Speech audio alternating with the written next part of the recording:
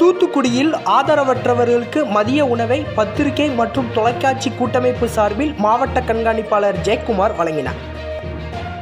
தூத்துக்குடி மாவட்டத்தில் ஊரடங்கு உத்தரவு பிறப்பிக்கப்பட்டுள்ளது. இதனால் ஆதரவற்றவர்கள் உணவின்றி தவித்து வருகின்றனர். இந்த நிலையில் முழு ஊரடங்கில் ஆதரவற்றவர்களுக்கு தூத்துக்குடி மாவட்ட பத்திரிகை மற்றும் தொலைக்காட்சி கூட்டமைப்பு சார்பில் மதிய உணவு வழங்கப்பட்டது. தூத்துக்குடியில் தவித்து வரும் ஆதரவற்றவர்களுக்கு பத்திரிகை மற்றும் தொலைக்காட்சி கூட்டமைப்பு தலைவர் பிரான்சிஸ் தலைமையில் தூத்துக்குடி மாவட்ட கண்காணிப்பாளர் ஜெயக்குமார் மற்றும் தூத்துக்குடி நகர துணை கண்காணிப்பாளர் கணேஷ் மதிய உணவு வழங்கினார்கள். இந்த நிகழ்ச்சியில் மாவட்ட செயலாளர் மார்க் மகேஷ் மாவட்ட இணைச் செயலாளர் அண்ணாதுரை மற்றும் நிர்வாகிகள் கலந்து கொண்டனர்.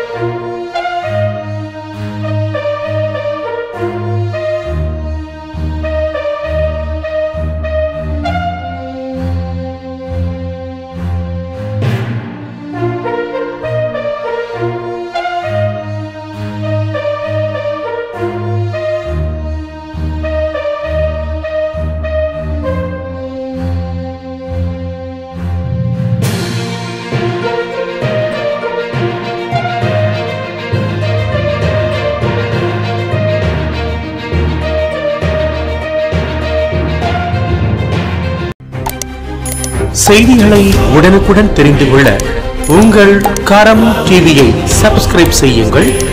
அதோடு பெல் பட்டனையும் கிளிக் செய்யுங்கள்.